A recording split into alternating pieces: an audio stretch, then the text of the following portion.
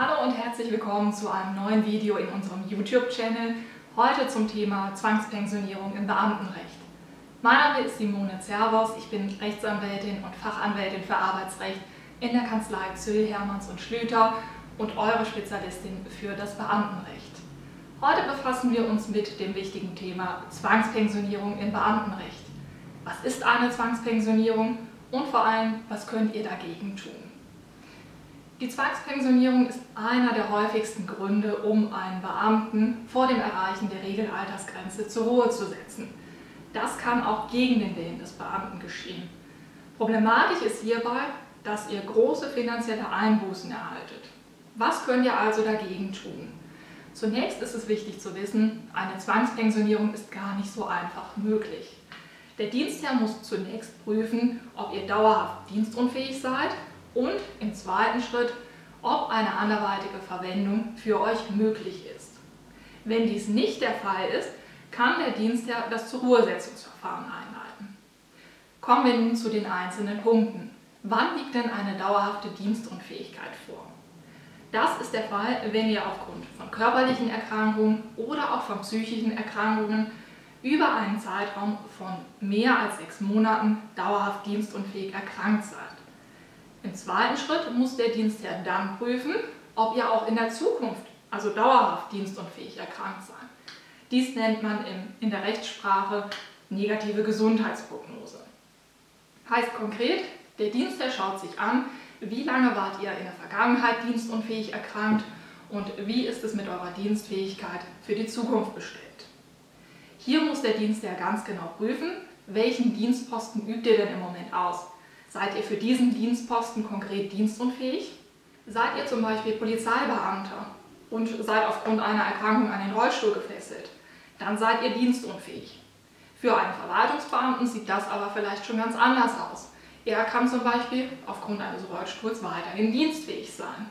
Hier muss der Dienstherr eine Einzelfallprüfung vornehmen. Jetzt fragt ihr euch, wie wird denn die Dienstunfähigkeit beurteilt? Das wird nicht vom Dienstherrn, sondern von einem Amtsarzt beurteilt. Dieser erstellt ein amtsärztliches Gutachten, das dann an den Dienstherrn zur Verfügung gestellt wird. Wichtig ist hierbei, im Verfahren der Zurruhesetzung erhaltet ihr mehrfach die Gelegenheit zur Stellungnahme, unter anderem auch zu dem amtsärztlichen Gutachten. Deshalb empfiehlt es sich, dass ihr möglichst frühzeitig einen auf das Beamtenrecht spezialisierten Rechtsanwalt konsultiert wir können euch bereits in diesem frühen Verfahrensstadium unterstützen und im besten Fall bereits im Verwaltungsverfahren eine Abwendung der Zwangspensionierung oder zumindest eine zeitliche Verzögerung für euch erreichen. Deshalb wendet euch an einen spezialisierten Rechtsanwalt. Wir stehen euch mit Rat und Tat zur Verfügung. Kommen wir nun zurück zur Dienstunfähigkeit. Wenn euch das amtsärztliche Gutachten vorliegt, habt ihr die Möglichkeit, hierzu eine Stellungnahme abzugeben. Das solltet ihr nicht leichtfertig tun. Hierzu empfiehlt es sich, entweder, wie bereits gerade gesagt, mit einem Anwalt Kontakt aufzunehmen oder mit eurem Hausarzt zu sprechen. Denn viele amtsärztliche Gutachten weisen nach unserer Erfahrung Fehler auf. Hiergegen kann man dann gezielt vorgehen und das Zurruhesetzungsverfahren abwenden. Auch im weiteren Verlauf des Verfahrens kommt es nach unserer Erfahrung häufig zu formellen Fehlern. Zum Beispiel wird euch keine Möglichkeit zur Stellungnahme oder zur Anhörung gegeben. Das fachärztliche Gutachten ist falsch. Fristen werden nicht eingehalten oder ihr werdet nicht hinreichend informiert. Diese Voraussetzungen muss der Dienstherr in jedem Fall beachten. Wichtig ist hier, dass die Stellungnahme nicht nur zu dem amtsärztlichen Gutachten erfolgt, sondern auch zu dem Punkt anderweitige Verwendung. Hier kann ganz gezielt eine anderweitige Verwendung beantragt werden oder konkrete Verwendungsmöglichkeiten vorgeschlagen werden. Wichtig ist es auch in diesem Zusammenhang zu wissen, die Zwangspensionierung ist grundsätzlich das letzte Mittel.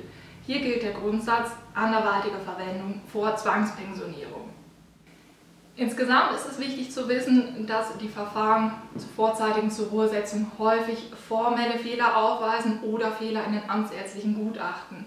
Hier empfiehlt es sich gemeinsam mit einem spezialisierten Anwalt und mit den behandelnden Ärzten eine medizinische, rechtliche Stellungnahme abzugeben. Wir wissen, dass das Verfahren der Zwangspensionierung für euch große finanzielle und auch persönliche Einbußen bedeutet. Daher können wir euch nur dringend empfehlen, frühzeitig einen spezialisierten Anwalt zu konsultieren und mit uns gemeinsam das Verfahren durchzuführen. Wir werden euch in der Sache beraten, auf das amtsärztliche Gutachten und den weiteren Verlauf vorbereiten und bei allen Fragen hilfreich zur Verfügung stehen. Wenn ihr weitere Fragen zu diesem Thema habt oder wenn euch unser Video gefällt, dann würden wir uns über einen Daumen hoch oder ein Abo unseres YouTube-Channels freuen.